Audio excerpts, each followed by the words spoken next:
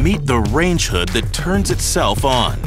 When the built-in sensor detects too much heat, it activates the venting process for you, so the area around your range stays smoke-free, even when starting the hood slips your mind.